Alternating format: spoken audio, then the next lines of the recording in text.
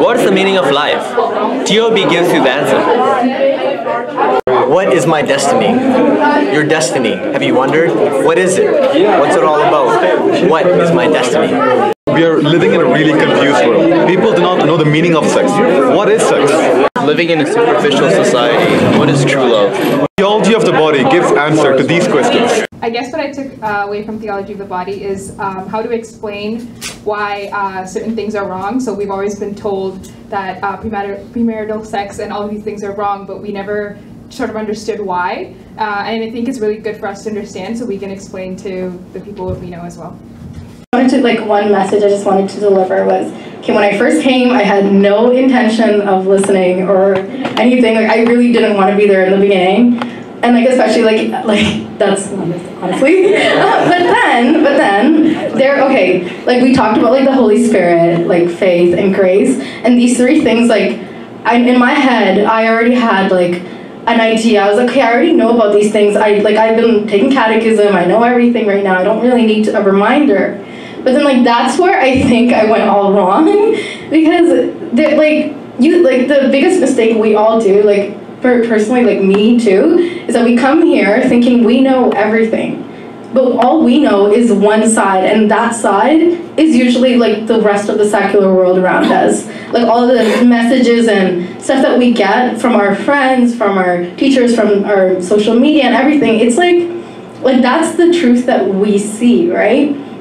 So I came with that knowledge I sat down and I like I thought I knew already like some basic principles and everything but then a lot of things that um, uh, Brother Babu was explaining, it really touched me, and I know we're gonna get through a lot of that, but I think like for that to touch you, you need to like when you're sitting here, you need to like don't harden your hearts. Like don't come here and be like, okay, I'm gonna be here for two days, and then I'm leaving. Like this is not a big deal. I do this every once a month or something, right? Like it's not a regular retreat. Like if you want to see a change, even if you don't want to, just like just sitting here and opening even like a, the smallest crack. Like I remember we were talking like the Holy Spirit only needs like a sliver like of a crack for him to come into our lives. And honestly, a lot of people are just afraid to let the Holy Spirit come in because we think it's going to make our life a lot harder. We're going to have to give up everything that we enjoy in our regular lives. But it's not true. It just makes us realize the truth. And I think today I'm really excited for the next two days because I feel like there's a lot of truth that's going to be told, but we're only going to be able to listen to that truth if we really open our hearts. So before he starts, I want everyone to just, even if you don't want to be here, just let there be a little crack. Because in a couple days, in a couple years, I don't know, maybe when you're like 70 years old, you're gonna have a re uh, like revelation, and you're gonna realize that there was some truth that was being said today. And yeah, that's all I wanted to say. so what I learned from the Theology of the Body program is I got to learn about how what God had in mind when He created us and His plan for us, and He created us in His image, image and likeness, and why He created us male and female.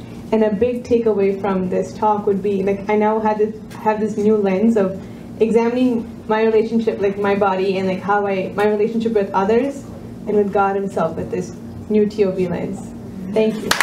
Um, the Holy Spirit is a person that lives permanently in us, regardless of our situation, regardless of our state of mind, be it when we are in sin or out of sin, is still there.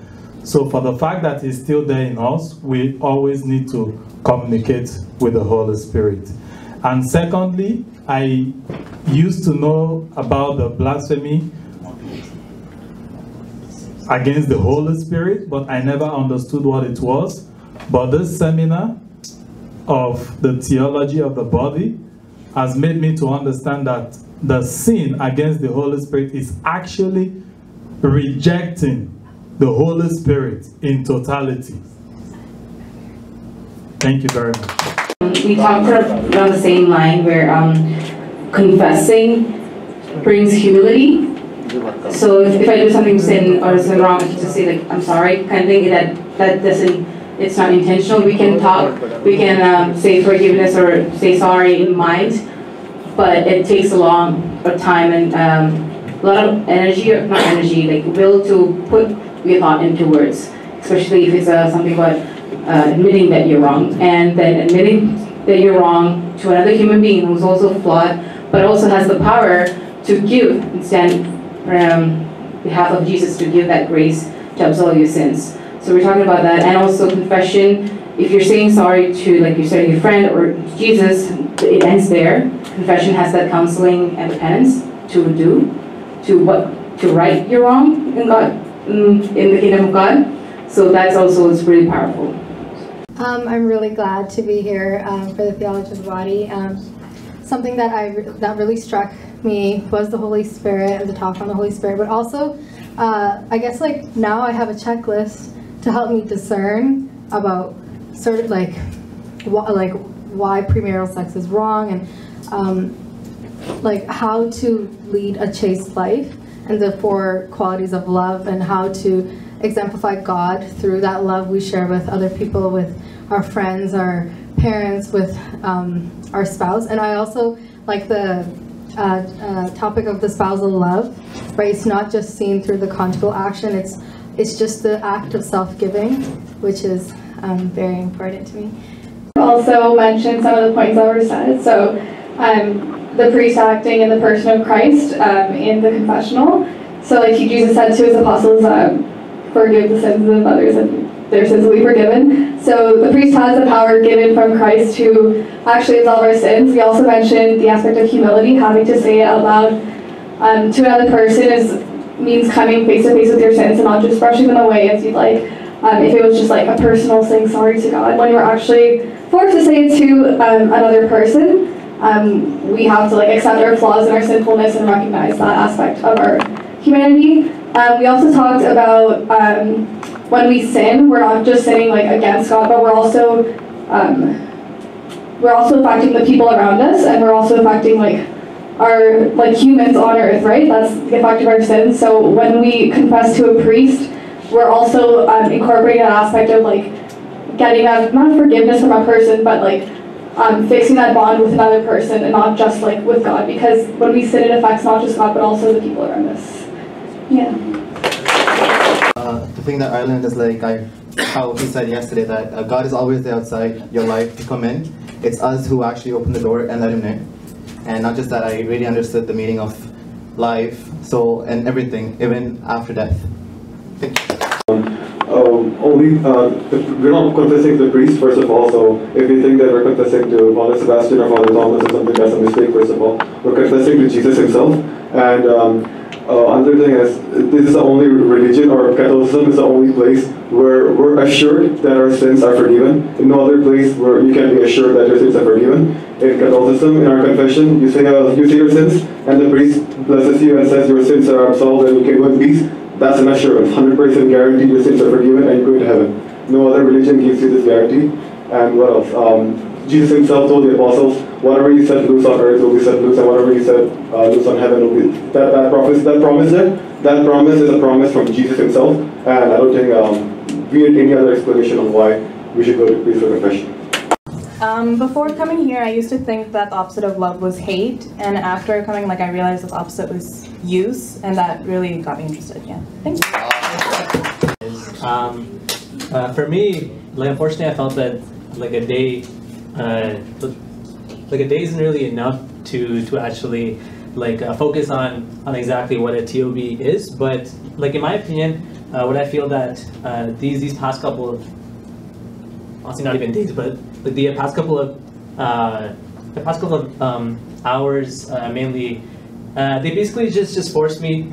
Uh, uh, sorry, not forced me, but but they basically just just um, like increased the uh, desire to actually learn more about the theology, theology of our body. So. Um, like uh, no, usually uh, like part of our culture uh, is that um, we're, just, we're just forced to, to blindly believe like all these uh, like all these concepts. But um, what uh, what Bob Babu Chetan um, like what he did uh, through all these sessions, which is uh, force you to ask the question why, why do we believe this? So I feel like that uh, was was the main main thing that I that I got out of um, the the past day. Yeah. For life, I learned more about the Holy Spirit, um, and I learned that He's a person, not just the third person of the Trinity that was all it. it I didn't, I knew it was important, but I didn't know how extent it was. I hear about Him a lot, but never used to pray to Him specifically. So now I know it's a person. It's much easier to visualize. So thank you for that. For attending the lectures devoted to the theology of body, because of the opportunity of understanding the meaning of life, the role of the sexes, the existence of the woman and man, and also the true meaning of the love. Thank you for this opportunity. So before when I came here, um, my parents always told me that dating was bad. It's wrong to date other people, but because we are choosing the our right the right partner to uh, for them to live in our lives. And I also learned that the opposite of love is use. I'm very glad that we were able to have um, these discussions about the theology of the body, especially I know within our community we feel like it's something that we can't always discuss openly or something that we shouldn't be talking about. But I think that the discussions we had were important and even for us to move on from here and like others said, learn more. Um, yeah, I think understanding that this is not taboo or bad, like it's how God made us and it's very good and beautiful. Um, so I think that was really good that we established that. Thank you. Um, yeah, so I feel like uh, really blessed to be here. Um, I think we're also blessed to have someone like Babu Uncle, you know, come all the way from USA just to teach about such a sensitive and such a delicate topic, right? The theology of the body. Um, you know, I, just, I, I really came here for healing, um, just healing of having that lack of understanding of the theology of the body, right? Um, I think, you know, as we age, you know, we, we there's always so much doubt um, that we always have. Um, so just having that understanding and, um, you know, like, um, what I can really take back from this is just having a, a deeper understanding of my sexuality, what it means to be a male and what it be, means to be female, and um, just uh, knowing what you know, know how know how to love uh, sincerely, and um, and yeah. So what I learned from TOB was that in order for us to gain the respect that we need, um, we gotta respect our body and um, know that we're a temple of God and then God lives in us in order to gain that respect back from whoever we're with in the future. So that really stood out to me. Uh, I'm actually grateful to be here and attending this two-day program. Uh, the two things that I got out of it was first was the Holy Spirit, how I knew He was just a person, but how He's always there in us and how we just have to like understand that He's always there with us and He can help us. And also how beautiful our body is and how we need to like glorify God, glorify God through our body. Thank you. So I think it's important that we come to TOB just so we can discuss like what everyone else mentioned about like taboo topics such as our sexuality and premarital sex. Yep. What I learned was um, uh, basically like we've been taught about like the different ways we can express our love uh, to our loved ones, but I guess what I picked up from this is like the intent we in which we try to express has to be you know uh, has to be with like purity and like um, an intent to like uh, love God you know in like a more um, honest and like fruitful way. Uh, that's essentially it. From the TOB, I learned the importance of relationships.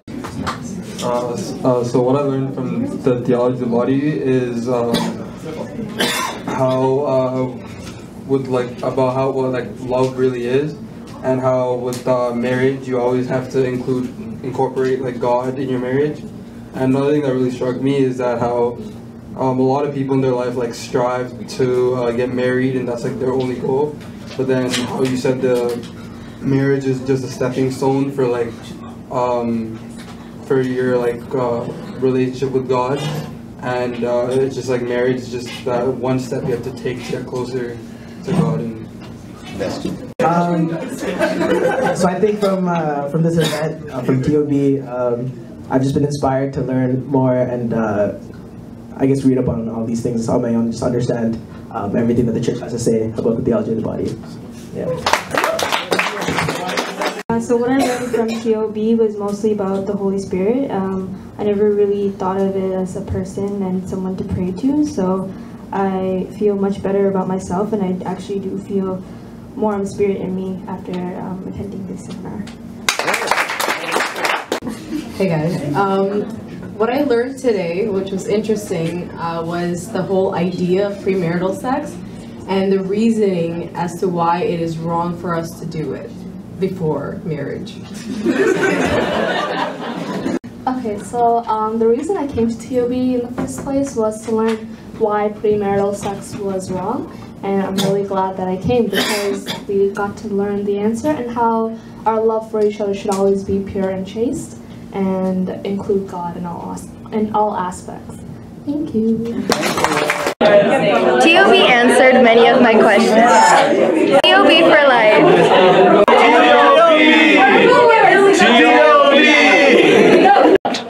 TOB for life, transforming lives.